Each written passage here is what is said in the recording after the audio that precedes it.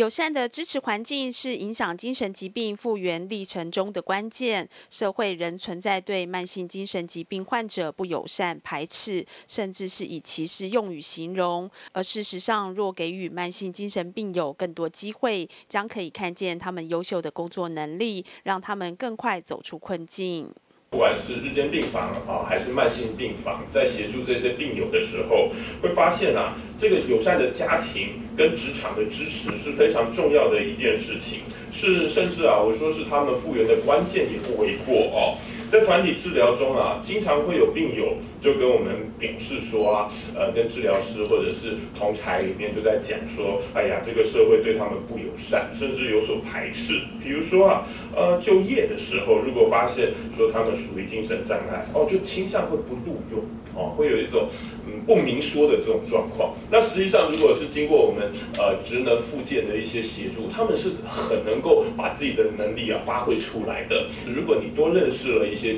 呃经常的朋友，你就会发现说，哎，其实他哎跟你相处上是非常的友善而且可爱的，所以是呃不认识不知道就心存恐惧，认识了了解了，你就会展开双手，然后呃欢迎他们。好，所以在家庭里面，邻居。社区啊，不要轻易的用这样类似说疯子这样来形容他。那我们现在也把呃呃精神分裂症改为思觉失调症啊，相信这样子的一个更动言语上的呃调整啊，会有更好的帮助。那实际上啊，台北市呃已经设有五十一家精神照顾的机构啊，能够协助呃复健潜能上比较呃优良的慢性病友，一点一点的朝向他能力上能够发展的这个项目去做。所以我们的社会啊，给每一位病友都有一些些的机会。那这样的话，会让他们生活更。有活力哦。那以前在病房里面带团体，我就很明显的发现到啊，当我们复健到某个程度，呃，他在日间，然后也学会了这这个呃，比如说是呃贩卖啊、洗车这些呃稍微啊比较能够符合他们能力的工作，哎，他甚至能够在医院里面就可以赚到一点点生活的费用，这对他们心理上的这种呃成就感来讲是非常大的鼓舞。文山职能工作坊是由一群具有复健潜能的精神康复者共同经营的园地，以职能治疗的全人观点，规划许多社区化的职能团体，透过复健训练重建生活功能，与社区融合，迈向复原之路。反正我们的社区复健中心，其实它不是一开始就进来就说哦，像一一开始就要做这些我们的一个复健的一个活动内容哦，那会是会有我们职能治疗师在一个全人的一个理念下。哦，去评估和设立他的一个复健目标。哦，那不是所有的人哦，所有的我们学员来我们的呃社区复健中心都是一定要做呃工作训练这一块。哦，那有可能是为了他来这边是维持他的生活功能，哦，去适应疾病。那就会在这个过程中呢，其实我们就会利用许多的一个职能团体，好像是独立生活团体、社交技巧团体、科技应用团体，去协助他去维持和呃维持和他现在的功能。好，那如果这样，因为我们的学员来我们的社区复健中心，他有一个未来是职业就业的一个方向，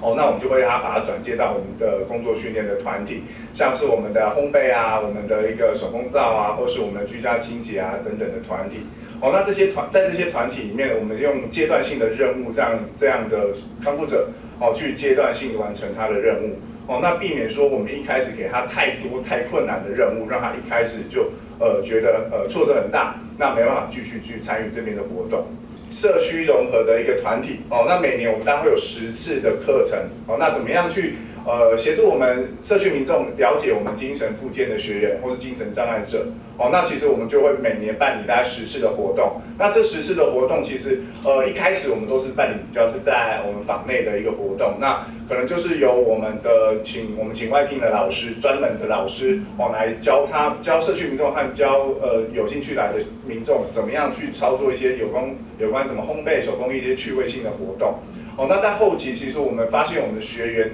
哎，也也可以适当的参与在里面。那他们当了志工，甚至当了老师哦。那其实后期我们像我们现在办理这样的课程，我们都是以学员为中心，怎么样让学员可以最大的去呈现他的有能感哦？怎么样让他在社区、在民众、在自己都能呈现出出一个我可以的一个状态？